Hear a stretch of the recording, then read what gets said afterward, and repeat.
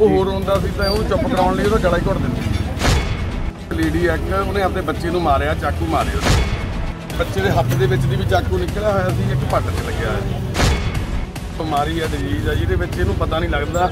ਜਦੋਂ ਇਹਦਾ ਬੱਚਾ ਰੋਂਦਾ ਸੀ, ਇਹਨੂੰ ਗੁੱਸਾ ਚੜਦਾ ਸੀ, ਤਾਂ ਇਹ ਉਹਨੂੰ ਮਾਰਦੇ ਸੀ। ਜੀ ਤਿੰਨ ਬੱਚੇ ਉਦੋਂ ਇਹ ਮੰਨ ਵੀ ਮੰਨਿਆ, ਮੇਰੇ ਤਿੰਨ ਬੱਚੇ ਇਸ ਤੋਂ ਪਹਿਲਾਂ ਇਹ ਮਾਰ ਚੁੱਕੀ ਆ।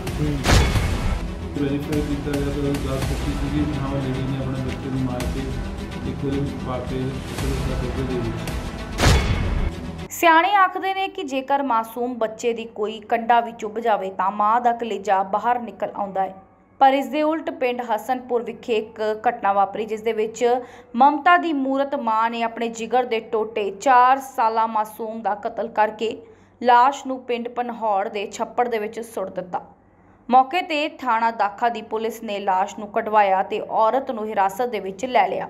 ਥਾਣਾ ਦਾਖਾ ਦੇ ਮੁਖੀ ਅਜੀਤਪਾਲ ਸਿੰਘ ਨੇ ਦੱਸਿਆ ਕਿ ਪਿਲ- ਪੁਲਿਸ ਕੋਲੋਂ ਇਤਲਾਹ ਮਿਲੀ ਕਿ ਪਿੰਡ ਪਨਹੌੜ ਵਿਖੇ ਇੱਕ ਔਰਤ ਲੋ- ਨੂੰ ਲੋਕਾਂ ਨੇ ਜਬਰੀ ਬੰਨਿਆ ਹੋਇਆ ਹੈ। ਉਸ ਨੂੰ ਛੁਡਵਾਉਣ ਲਈ ਮੌਕੇ ਤੇ ਮੁਲਜ਼ਮ ਪਹੁੰਚੇ ਪਰ ਮਾਮਲਾ ਕੁਝ ਹੋਰ ਹੀ ਨਿਕਲ ਕੇ ਸਾਹਮਣੇ ਆਇਆ।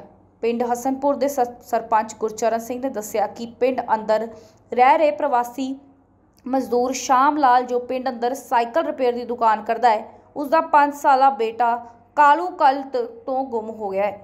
ਜਿਸ ਦੀ ਕਾਫੀ ਪਿੰਡ ਵਾਸੀਆਂ ਨੇ ਇਧਰ ਉਧਰ ਭਾਲ ਕੀਤੀ, ਪਰ ਕੁਝ ਪਤਾ ਨਾ ਲੱਗ ਸਕਿਆ। ਉਧਰ ਪਿੰਡ ਵਾਸੀਆਂ ਨੇ ਪਿੰਡ ਪਨਹੌੜ ਦੇ ਹਸਨਪੁਰ ਵਿਖੇ ਘਰਾਂ ਅੰਦਰ ਅੱਗੇ ਸੀਸੀਟੀਵੀ ਕੈਮਰਿਆਂ ਨੂੰ ਖੰਗਾਲਿਆ ਤਾਂ ਬਬੀਤਾ ਆਪਣੇ ਪੁੱਤਰ ਕਾਲੂ ਨੂੰ ਲੈ ਕੇ ਜਾ ਰਹੀ ਸੀ।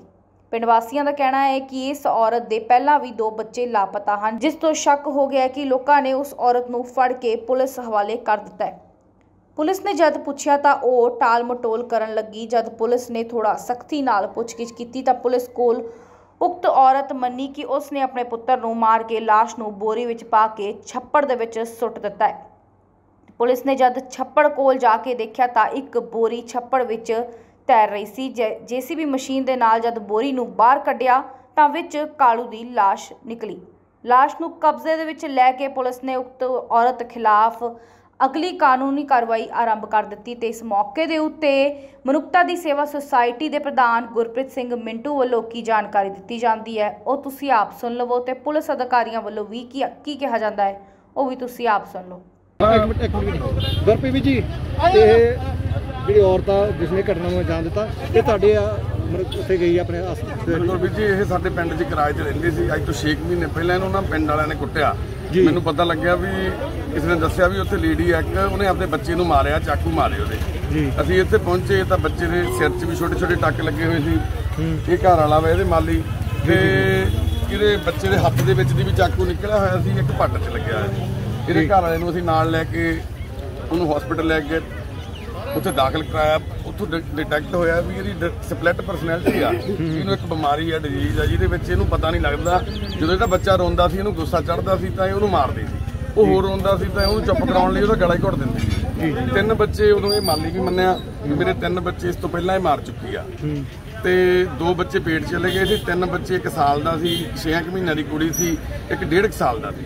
ਇਹ ਬੱਚਾ ਕਰੀਬ 5 ਸਾਲ ਦਾ ਹੋ ਗਿਆ ਸੀ। ਕਿਉਂਕਿ ਵੱਡਾ ਹੋਣ ਕਰਕੇ ਰੌਲਾ ਪਾਉਣ ਦੇ ਚੀਕਾਂ ਮਾਰ ਦਿੰਦਾ। ਕਈ ਵਾਰੀ ਇਹਨੂੰ ਵੀ ਮਾਰਨ ਦੀ ਕੋਸ਼ਿਸ਼ ਕੀਤੀ ਇਹਨੇ। ਜੀ ਜੀ ਜੀ। ਤਾਂ ਪਰ ਉਹ ਬਚ ਜਾਂਦਾ ਸੀ।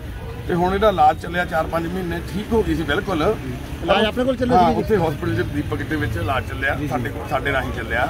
ਠੀਕ ਹੋ ਗਈ। ਅਸੀਂ ਇਹਨੂੰ ਬਹੁਤ ਸਮਝਾਉਂਦੇ ਰਹੇ। ਇਹਨੇ ਦਵਾਈ ਬੰਦ ਕਰਤੀ ਬਾਅਦ ਚ. ਇਹਨੂੰ ਮੈਂ ਬਹੁਤ ਸਮਝਾਇਆ ਮਾਲੀ ਦਵਾਈ ਨਾ ਬੰਦ ਕਰ। ਇਹ ਵੀ ਥੋੜਾ ਜਿਹਾ ਵਿਚਾਰਾ ਨਹੀਂ ਧਿਆਨ ਦੇ ਪਾਇਆ ਬਾਕੀ ਜਦੋਂ ਇਹ ਹੋਣੀ ਹੋਵੇ ਚੀਜ਼ਾਂ ਹਨਾ।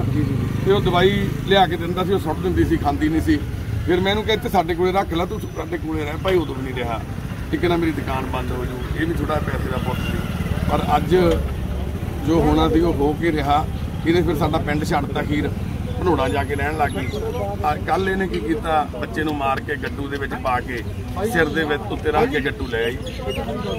ਇੱਥੇ ਲਿਆ ਕੇ ਇਹਨੇ ਛੱਪੜ 'ਚ ਸੁੱਟਤਾ। ਤੇ ਅੱਜ ਹੁਣ ਛੱਪੜ 'ਚੋਂ ਅਸੀਂ ਇਹ ਡੈੱਡ ਬੋਡੀ ਬਰਾਮਦ ਕੀਤੀ ਹੈ। ਨਾਲ ਲੱਗ ਕੇ ਨੱਕ ਟਕ ਮੇਰਾ ਮਤਲਬ ਧੀਰੂ ਕਿੱਥੇ ਆ ਵੀਰੇ ਤੂੰ? ਸਰ ਕੀ ਘਟਨਾ ਹੋਈ ਹੈ ਜੀ। ਕੀ ਘਟਨਾ ਤੁਹਾਡੇ ਪਿੰਡ ਦੇ ਜੀ ਇਹ ਨਹੀਂ ਪਹਿਲਾਂ ਵੀ ਤਿੰਨ ਬੱਚੇ ਆਪਦੇ ਹਾਈ ਗਾਲ ਘੁੱਟ ਕੇ ਮਾਰ ਕੇ ਕੋਈ ਕਿਵੇਂ ਜਾਣੀ ਇਹ ਦਿਮਾਗੀ ਵੀ ਇਹਦੀ ਹਾਲਤ ਜੀ ਕਿੰਨਾ ਚਿਰ ਉੱਥੇ ਵੀ ਰੱਖੀ ਅਮਲਕ ਵਾਲਿਆਂ ਦੇ। ਇਹ ਵੀ ਕੱਲ ਹੀ ਲਈ ਫਿਰ ਰਹੀ ਪਹਿਲਾਂ ਬਿਮਾਰ ਗਈ ਆ ਮੁੰਡੇ ਨੂੰ ਲੈ ਕੇ। ਉਹ ਚੱਕੇ ਉਸ ਤੋਂ ਬਾਅਦ ਇਹ ਮੁੰਡਾ ਪਤਾ ਨਹੀਂ ਮਾਰ ਕੇ ਤਾਂ ਵੀ ਰਸਲ ਉਡਾ ਦੇ ਕਈਆਂ ਨੇ ਦੇਖਿਆ ਬੋਰੀ ਦੀ ਚੱਕੀ ਆਉਂਦੀ ਸੀ। ਇਹਨਾਂ ਨੇ ਇੱਥੇ ਜਾ ਕੇ ਛੱਡਦਾ ਵੀ ਪੁਲਿਸ ਕੋਲੇ ਮੰਨੀ ਆ ਪਹਿਲਾਂ ਤਾਂ ਮੰਨਦੀ ਨਹੀਂ ਸੀ। ਇਹ ਬੱਚੇ ਦੀ ਕਿੰਨੀ ਕਿੰਨੀ ਉਮਰ ਹੈ ਸਰਪੰਚ ਸਾਹਿਬ? ਇਹਦੀ 4-5 ਸਾਲ ਦੀ। ਅਸੀਂ ਕੌਣ ਹੈ ਬੰਦੇ ਬੱਚੇ ਇਹ ਬ- ਜਿਹੜੀ ਜਨਾਨੀ ਨੇ ਬੱਚਾ ਮਾਰਿਆ ਦਾ ਇਹ ਉਹਨਾਂ ਕੌਣ ਨੇ ਹੈ ਕਿਤੇ ਬਿਹਾਰ ਦੇ।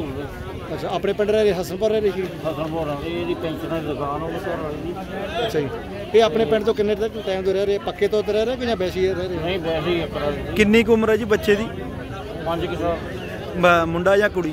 ਮੁੰਡਾ। ਮੁੰਡੇ ਦੀ। ਪਹਿਲਾਂ ਵੀ ਦੋ ਮੁੰਡੇ ਕੁੜੀ ਮਾਰ ਅੱਛਾ ਅੱਛਾ ਅੱਛਾ। ਇਹਦੇ ਟੋਟਲ ਬੱਚੇ ਕਿੰਨੇ ਟੋਟਲ ਵੀ ਇੱਕੋ ਇੱਕੋ ਹੀ ਸੀਗਾ। ਦੋ ਪਹਿਲਾਂ ਮਾਰਤੇ ਇੱਕ ਰਹਿ ਗਿਆ ਸੀ। ਦੋ ਮੁੰਡੇ ਇੱਕ ਕੁੜੀ ਪਹਿਲਾਂ। ਵਜ੍ਹਾ ਪਤਾ ਲੱਗੀ ਜੀ ਕੋਈ ਕਿਸ ਕਾਰਨ ਮਾਰਿਆ ਨੇ ਇਹ ਇਹਨੇ ਉਹਨੇ ਦੱਸਿਆ ਇਹਦੇ ਘਰ ਵਾਲੇ ਨੇ ਵੀ ਇਹਨੇ ਗਾਲ ਘੁੱਟ ਕੇ ਮਾਰਿਆ ਨਾ ਜੀ ਉਹ ਪਤਾ ਨਹੀਂ ਕਿਵੇਂ ਰੱਖੀ ਫਿਰ ਲਈ ਇਹਨੂੰ। ਤੇ ਇੱਕ ਵਾਰੀ ਇਹ ਉੱਥੋਂ ਵੀ ਬੜੀ ਉਹ ਤੋਂ ਕਾਪੀ ਚੱਕ ਰਹੀ ਦੀ ਰੋਟੀ ਖਾਣ ਜਾਂਦੀ ਮੁੱਲਾਪੁਰ।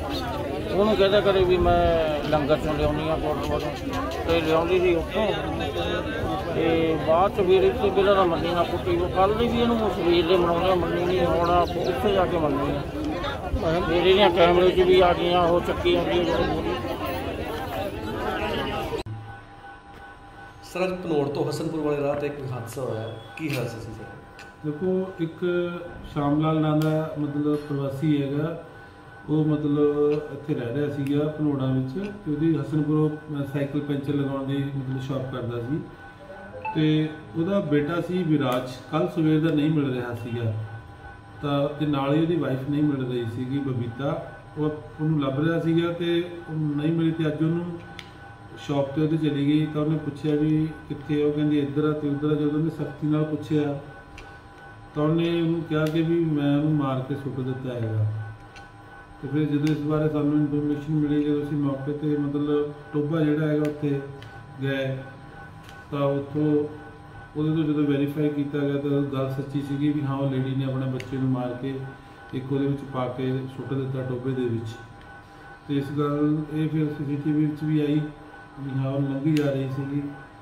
ਤੇ ਫਿਰ ਉੱਥੇ ਮੌਕੇ ਤੇ ਅਸੀਂ ਮਤਲਬ ਜਿਹੜੀ ਡੈੱਡ ਬੋਡੀ ਆ, ਉਹ ਬਰਾਮਦ ਕੀਤੀ ਹੈਗੀ ਆ। ਤੇ ਉਹਨਾਂ ਦੇ ਪਤੀ ਦੇ ਬਿਆਨ ਤੇ ਅਸੀਂ ਉਸ ਲੇਡੀ ਦੇ ਬਬੀਤਾ ਦੇ ਖਿਲਾਫ 302 201 ਦੇ ਤਹਿਤ ਅਸੀਂ ਪਰਚਾ ਦਿੱਤਾ ਹੈ।